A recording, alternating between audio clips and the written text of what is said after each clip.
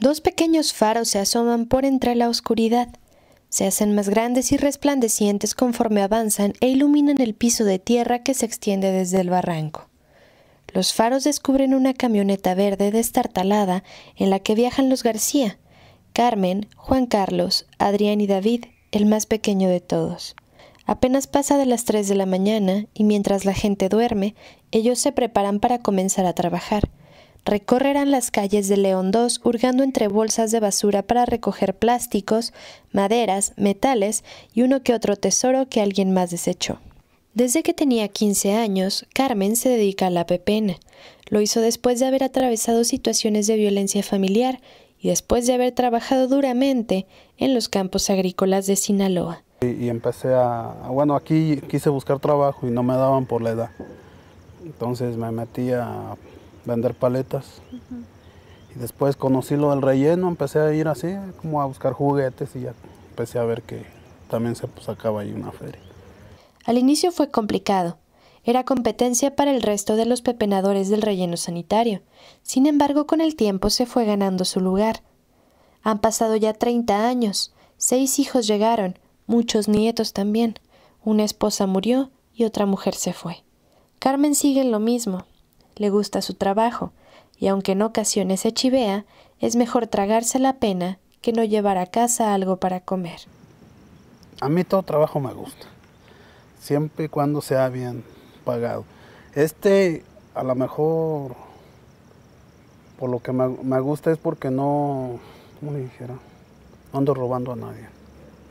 Y me gusta que admiren también mi trabajo otras personas para que lo sigan haciendo. Porque si hay gente que, que le da vergüenza pepenar. Muchos opinan, comenta el patriarca, que su trabajo es para flojos y maleantes. Otros lo ven como ratero.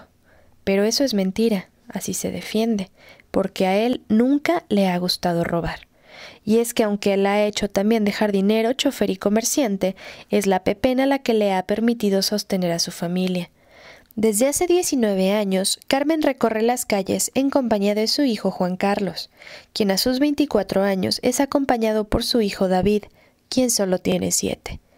El niño halla fascinante acompañar a su papá, abrir las bolsas y encontrar sorpresas entre la basura. Estas van desde comida y juguetes hasta joyas, dinero y aparatos electrónicos.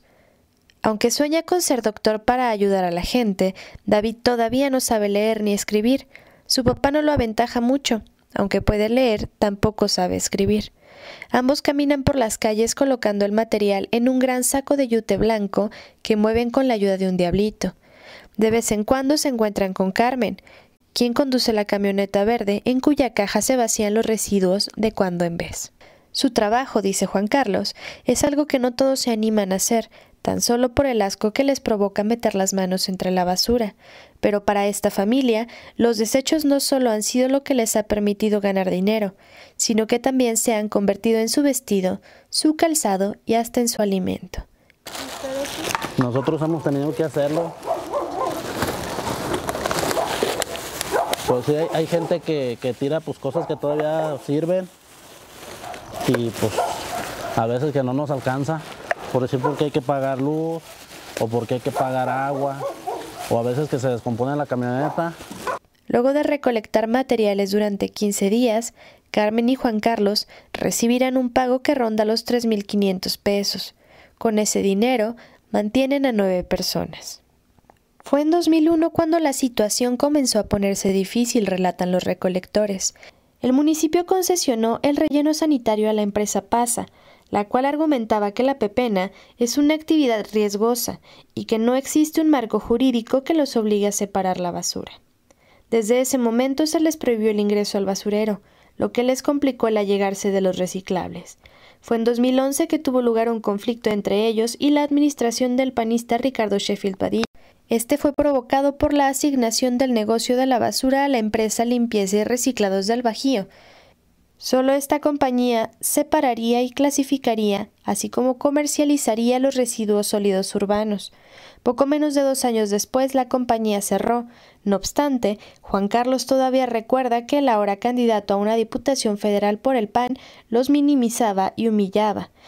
La cosa no fue muy diferente luego de que el PRI y el Verde entraran a la administración municipal. En 2014 se presentó el proceso de licitación del servicio de recolección de basura. En aquel momento los pepenadores apoyaron a los concesionarios. Juan Carlos asegura que la alcaldesa con licencia Bárbara Botello Santibáñez compartía la actitud de Ricardo Sheffield y les decía que eran indignos de hablar con ella. Muchos, tienen ese lema que decían antes que, que el PRI robaba, pero dejaba robar. No se trata de dejar robar, se trata de no quitar el empleo. Porque aunque, aunque usted me vea, por decir, mire, aunque usted me vea aquí sucio, le puedo asegurar que es el trabajo más honrado, más limpio que el de ellos.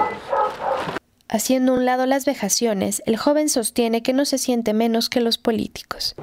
Yo no me siento menos. Yo no me siento menos porque,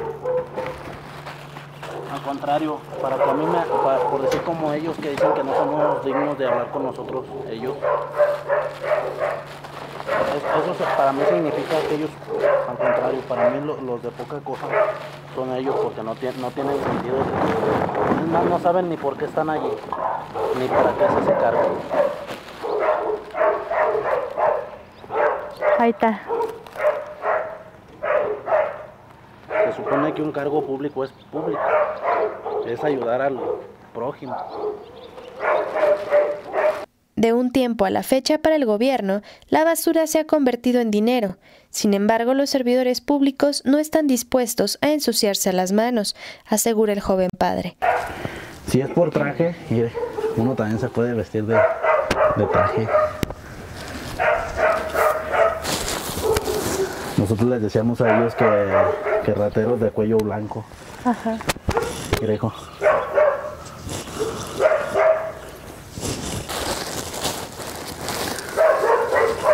hijo. Sí, sí.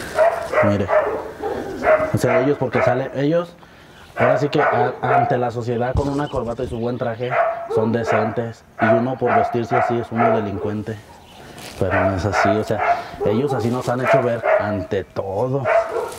Desde que el año pasado la recolección de la basura fue concesionada a Red Recolector y Giza, se ha impedido que los pepenadores separen la basura en los camiones.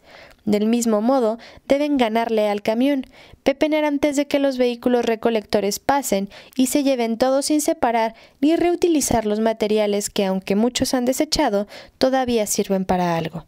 El pasado 9 de mayo, algunos pepenadores acudieron ante la presidencia municipal para exigir que se les incluya en un plan de aprovechamiento de residuos sólidos. Aunque ellos pedían generar un proyecto integral, la respuesta de la administración priista se redujo a que, por norma federal, ellos no pueden pepenar en el relleno. Los García no solo han tenido que enfrentarse al desprecio de las autoridades, sino también al de algunos ciudadanos de a pie, como sus vecinos. Inicialmente, la familia de pepenadores contemplaba que la jornada terminara luego de siete horas. Sin embargo, tres horas después, Adrián alcanza a ver que a lo lejos algo arde. De inmediato su padre se percata de que lo que se encuentra en llamas es su casa, la cual hace las veces de bodega. La camioneta que se fue vacía recorre veloz y repleta de materiales el accidentado camino de terracería que conduce a la Jacinto López. La casa de Carmen es en realidad un conjunto de cuartos armados a partir de plásticos, tarimas y maderas. Alrededor de las habitaciones hay desperdicios de todo tipo, muchos de ellos flamables, así como una pequeña jauría que anda de un lado al otro. Uno de los cuartos, que apenas estaba en construcción, fue consumido por el incendio, que solo uno de los vecinos ayudó a apagar. A pesar de las llamas, algunos de los nietos de Carmen permanecieron dormidos al interior de sus cuartos. Afortunadamente fueron rescatados a tiempo. No, pues la verdad se siente uno mal porque pues usted ya vio ahorita andábamos pues batallando, ya ve que le, ya ve que le decía de la madera, a veces nos sirven hasta pues pollitos, así los va uno tapando con tablitas, pero como ahorita se, pues sí batalla uno para traérsela y pues sí, De su trabajo. sí, se, pierde mucho. Bueno, al menos para nosotros sí perdemos mucho. Esta no es la primera vez que viven una situación familiar, ya que antes los vecinos habían provocado que se quemara el lugar. La razón, se quejan de la contaminación visual que provoca el material y la basura. Asimismo, en las calles la familia ha hecho frente a asaltos, así como a hostigamiento y extorsiones por parte de policías. El incidente tuvo que ser superado con rapidez. Hay basura por separar. La camioneta es descargada en la casa de Juan Carlos, que se encuentra tan solo a unos metros de la de Carmen. Ahí están los nietos, dos de las hijas, una nuera y su hermana, Berta, quien vive con síndrome de Down. Los lugares en los que todos ellos habitan están construidos y equipados con artículos de segunda o tercera mano, de lo que se rescata de lo que nadie quiso. Carmen es un experto en plásticos que separa y clasifica lo que parece igual pero no lo es. Sus hijas buscan en otras bolsas prendas para usar o bien para vender en los tianguis. Yo desde que yo me acuerdo, mi papá todo el tiempo ha trabajado en esto. Este, pues de aquí nos ha sacado adelante, de aquí, de aquí a veces hemos vestido, hemos calzado, porque pues los sueldos que dan ahorita no alcanza para nuevo, la verdad. Y si se fija, pues lo que tenemos a todo le damos un uso. Laura Patricia admite las complicaciones que debe afrontar, sobre todo debido a que uno de sus hijos, Israel, padece una discapacidad que le fue provocada por una fiebre que contrajo cuando era un bebé. No encuentra quien pueda atenderlo. A esto se une la carencia de servicios como el agua potable. No obstante las circunstancias, Laura Patricia se siente orgullosa de su familia y de su trabajo. Porque es un trabajo honrado. Y yo digo, si hay personas que roban, matan y no les da vergüenza, o sea, ¿por qué a nosotros nos ha de dar vergüenza que lo estamos haciendo honradamente y a nadie le estamos quitando nada? Entre todos se vislumbra una amenaza, la de quedarse sin trabajo. Próximamente el Sistema Integral de Aseo Público, CIAP, lanzará una convocatoria pública para instalar centros de reciclaje en la ciudad. De acuerdo con el director de esta instancia, Norberto Origel Camacho, la convocatoria será abierta y podrá participar cualquier empresa, entre ellas PASA, Red Recolector y GISA.